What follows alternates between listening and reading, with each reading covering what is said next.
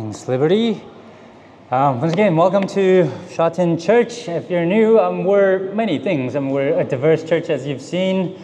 Um, we're, a hope, welcoming church, but we're also a Bible preaching church, which means that uh, we go through books of the Bible. And if you can get Ephesians 1 out in front of you as we go through it, I'm sure it'll help you, and I'm sure it'll help me um, as I go through it. But let me pray that God will speak to us today. Lord, we thank you for your word that it's living and active and thank you that you it is by your word we're created we're sustained and we're built up.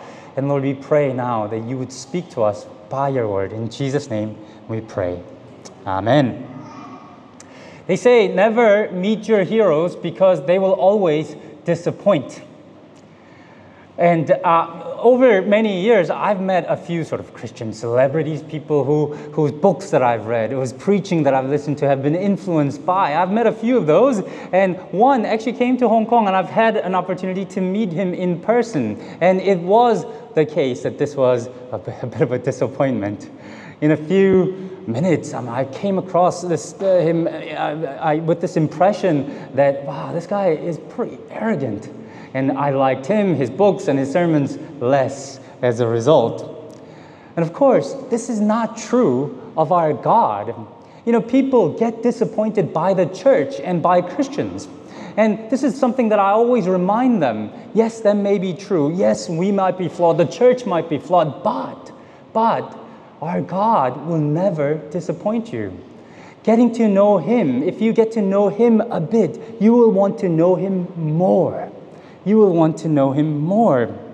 And last week, Paul told us about the, every blessing that we have in God the Father, the Son, and the Holy Spirit. And now he continues uh, this, this chapter with a prayer because he doesn't want us to just hear this message. He wants us to know this message, really, truly know who God is.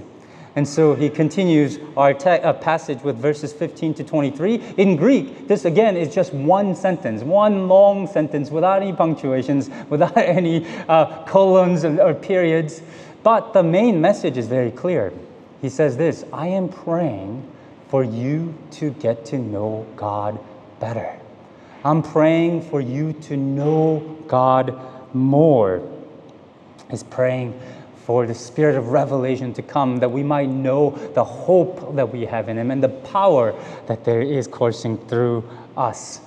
So, as we begin, let me ask this question Church, are you growing? Are you growing in Christ? You know, I've known Christians who, on paper, have been Christians for 10, 20, 30 years, but whose faith is actually pretty shallow. Why do I say that? Well, they, one, they might not be able to distinguish good teaching from bad teaching, or even orthodoxy from false teaching. And people fall prey to false teaching. There's the, the Church of Christ that's going around in Hong Kong and in other places. Have you heard of them?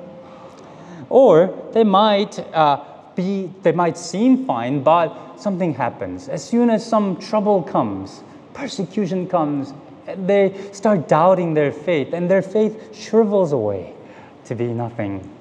Or there are people who come to church every week and they seem fine. They seem like good, decent Christians, but outside of Sunday, when they go out of these doors on Monday through Saturday, it feels like their faith is not making any difference in their life. Their faith is shallow. Their worries are the same as everybody else's worries. Uh, they're pursuing the same thing as everybody else status, uh, power, money, or whatever it is. Are you growing in Christ? This letter to Ephesians is what's called a circular letter. He's not writing to particular people uh, with their problems. He's writing a general letter. And as he's writing a general letter, he's trying to condense the faith down to things that he thinks are most important, most essential. And this prayer does that too. What does he think is most essential for us to be praying for? For us to get to know God better that we that they would know God better, that they would grow in him. You know, it's not wrong, of course, to pray for our circumstances to change. Uh, for you know, for us to be healed out of sickness, for get uh, get jobs or whatever it is that we're dealing with, and there are plenty of prayers in the Bible that asks uh, for God to change the circumstance. But what's striking in Paul's prayer in all these letters, and it's not just here, Ephesians 1, we have this prayer. Ephesians 3, we'll have another prayer. In Philippians 1, Colossians 1, and Romans, and, and, there are other places where Paul writes his prayers. And what's striking in all those prayers is that he does not ask for God to change the circumstance. What he asks for is deeper faith. What he asks for is for us to get to know God more. Because that is what we really need in this life, isn't it? We will have troubles in this world. We will have troubles. But when we face these troubles, what do we need the most? Assurance that God is with us, that God is in our life, that He is big in our life. That's what we need most. And that's what He's praying for here, for us to get to know God more. And if you're married and you have a strong marriage, you know kind of what it feels like, right? Because when you have a strong marriage, you kind of feel like you could do anything.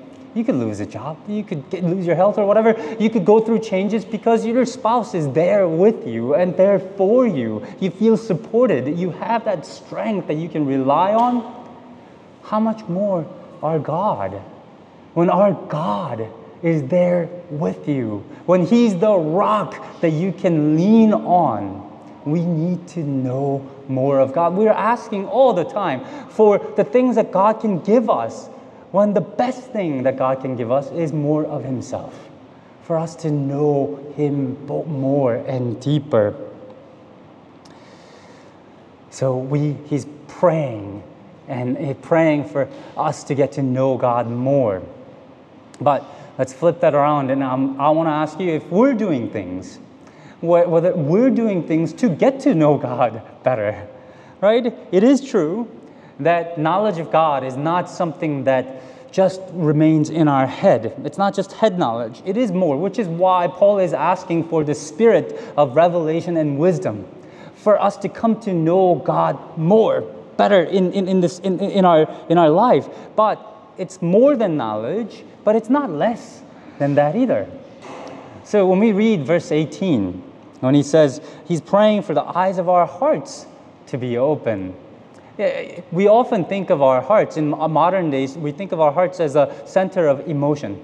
But it wasn't that for the Hebrews. For the Jewish people, it wasn't just center of emotion. It was that, but it was also the center of reason. It was also the center of your will. When he says your heart, he means the whole person. He's saying that I would love for you to get to know God in your whole being, in your mind, as well as your heart and emotions and reason and will and everything that you are.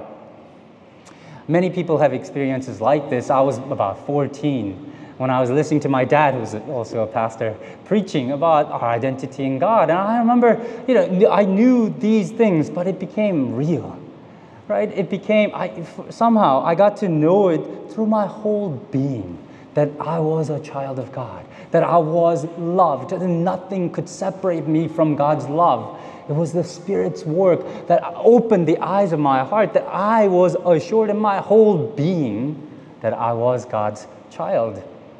But you see, often it is like that. God takes the seed of knowledge or the Word of God that gets planted and then God waters it and God makes it real, God makes it grow in you. So it is important for us to read the Bible. It is important to pursue knowledge, to uh, read books uh, about Christianity and about these uh, uh, Christian life and God's truths. It is good, and we should praise God for Christian schools and Christian education and, and, and the things that we do to get to know God more.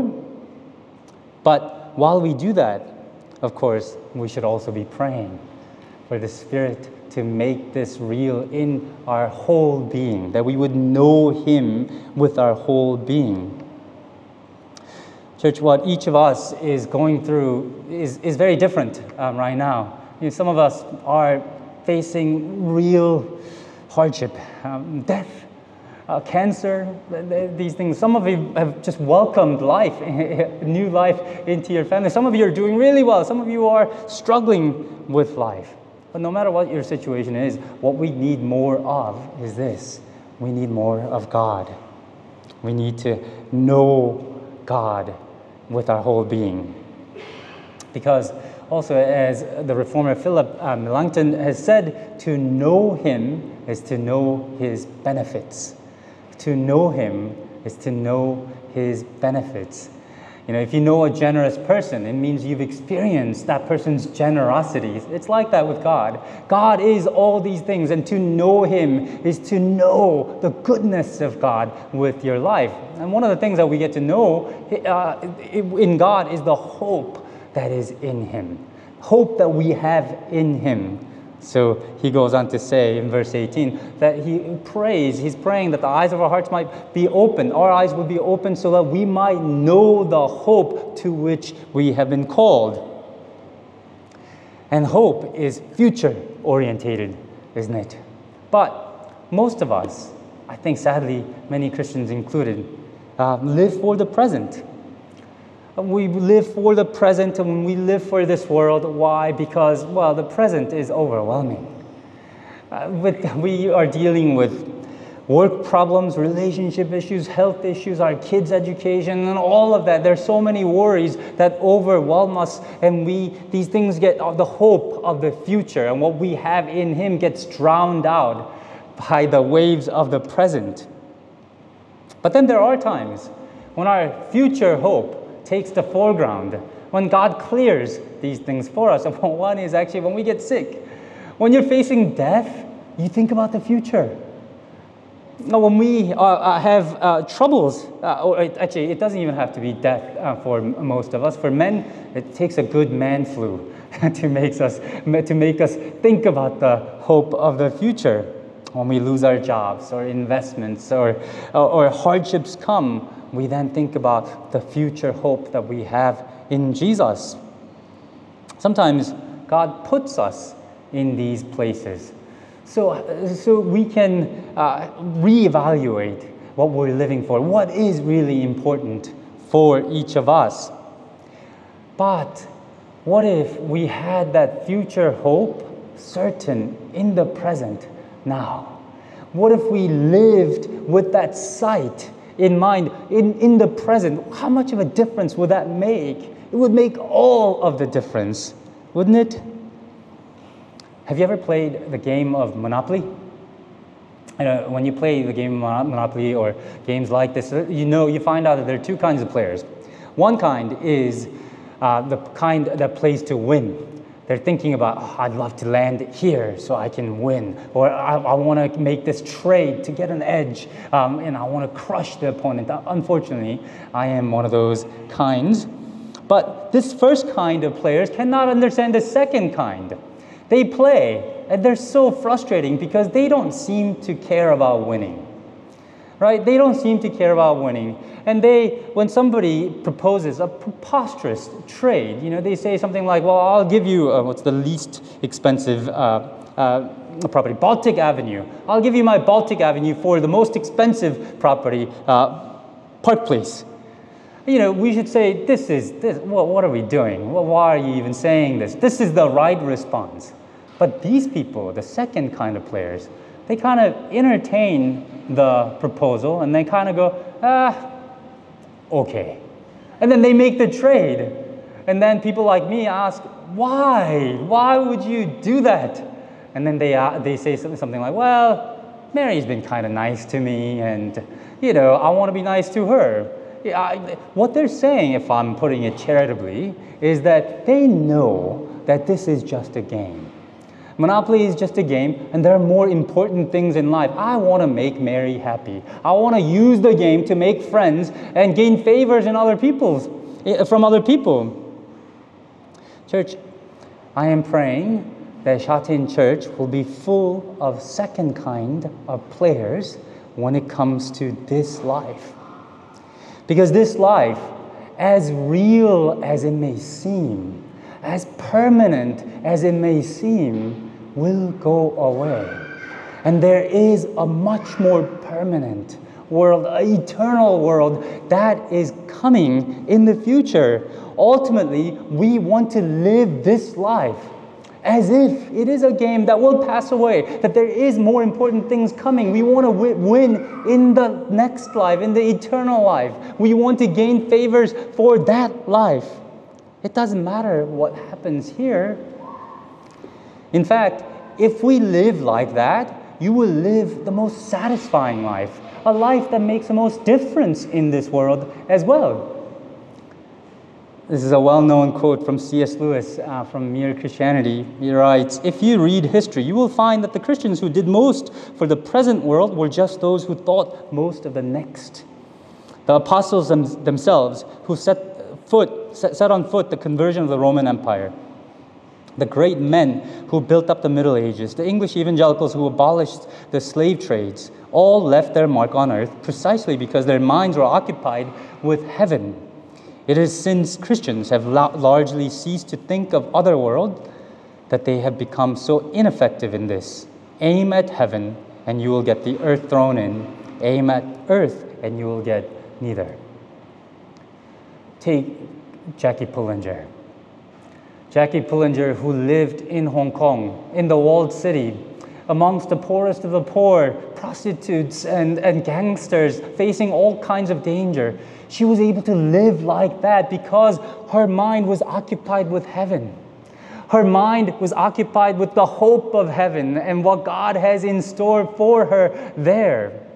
You know, people who, I know many people who are generous, who give beyond their means you know, as they put their money to work, uh, they're able to do that because their minds are heavenly minded. They're occupied with the hope of the future. And when you are occupied with the hope of the future, you can be generous in this world and you can make most difference in this world. If you're occupied with the hope of the future, the world that is coming, you can forgive. You can live life as it was meant to be, knowing that God is coming. We want to live with that hope in mind. It is not true that those who are most heavenly minded are of no earthly use. Those who are most heavenly minded will bring that peace of heaven down to earth. Church, this, these are uh, Peter's words in Peter, uh, 1 Peter 1 we have an inheritance that can never spoil, perish, or fade. Let's live with that hope in mind. To know God, it's to know that hope we have in Him. And to know God also is to know the power that we have in Him as well. So he continues in verse 19 I pray that you may know His incomparably great power for us who believe. Look how great this power is. It's incomparable. You know, what is the most powerful thing in this? Perhaps the most powerful evil in this world is death. At the face of death, when something dies, you can't bring a plant back to life. You can't bring a person back to life. We're all completely helpless at the face of death. But look what he says in verse 20. The power that is at work in us is the mighty power that raised Jesus from, from the dead back to life. God has defeated death. He's stronger than, than death, and His power is at work in us. But death is not only not the only evil that we feel powerless in front of. There are powerful people, evil people there are evil, spiritual evils in this world. There are evils on national scale, and when we face them, we feel completely helpless in front of them. But look what, what Paul goes on to say in verse 21. The power at work for us is the mighty strength that has seated Jesus at the right hand of God in verse 21, far above all rule authority, power, and dominion, and every name that is invoked, not only in the present age, but also in the one to come. There is evil in this world. There is all kinds of evil powers and evil people, evil institutions in this world, but they are all at the feet of Jesus. God has raised Jesus up, and he's now seated at the right hand of God, and everything on earth is at the feet of Jesus. You know, this wasn't quite an obvious thing to say to the Ephesians, to the Ephesian church. There was much spiritual darkness in the city of Ephesus. I mean, their landscape was dominated by this temple, the temple to Artemis. It was a big temple, a powerful temple, one of the uh, seven wonders of the ancient world. People from all over the world came to Ephesus to worship Artemis. That was what dominated their economy, and that was the, con- the where, where the power was concentrated. And the church in Ephesus was insignificant. I mean, by the scholars think that by the end of the century, the uh, year 100 AD, there were about 7,000 Christians in all of the Roman Empire. 60 million people, 7,000 Christians. That's like six St. Andrews. 7,000 Christians. Uh, uh, and the church in Ephesus was smaller than a Shatin church, I'm sure of it. And yet, and yet, Paul writes that the power that is at work in that church is greater than the power of Artemis, that greater than the power of the Roman Empire, greater than every evil, every spiritual being, every spiritual, every institutional power, all the powers in the world that can be invoked in the past, present, and the future. Jesus is above them all. He has conquered them all, and He is at work. And it is true isn't it? I mean, who worships goddess Artemis anymore? Do you know anybody? The Roman Empire, it has tried to crush Christianity, but some emperors have become Christian, not the other way around. It wasn't crushed. Over time, these words that Jesus said, that the gates of Hades will not overcome the church, has come true. Friends, we do not have to fear evil we do not have to fear any kinds of evil. But people do. People do fear evil things and evil people and evil forces. And even in Hong Kong, even spiritual powers. Hong Kong just had the Hungry Ghost Festival two weeks ago you know, you might think, wow, nobody, nobody really believes in this anymore, but it is culturally there, and people seem to burn things and, you know, whatever. This goes on. And feng shui, I mean, this, people take this really seriously, don't they? During the Qingming festival, the lines go multiple times around the Che Kung Miu temple, and we see these idols in restaurants and businesses and people's homes, you know, these fortuitous dates and things, auspicious dates. I mean, they determine when the kids are born or when they get married. These are powerful forces. Spiritual forces are real, spiritual battles are real. But, church, know that all spiritual forces of evil are at the feet of Jesus. This is also true of the institutional powers as well. Institutional powers and authorities. I follow the American politics um, of, a, a, lot. Um, in each election, you hear these words. This is the most consequential election of your lifetime. This is the most important election of your lifetime. Why do people say that? Well, they want to win. But partly they fear. They fear what would happen if the other side won. And what happens in Hong Kong is important. Politics is important in Hong Kong, in China, in America, everywhere because it affects people. It affects lives of real people. But, friends, we can be confident that all powers are at the feet of Jesus. He is on the throne. And if you look at the passage again in verse 22, God has placed all things, verse 22, for the church for the church. His body, the church, um, and Christ who fills all things, his power is coursing through us, the church.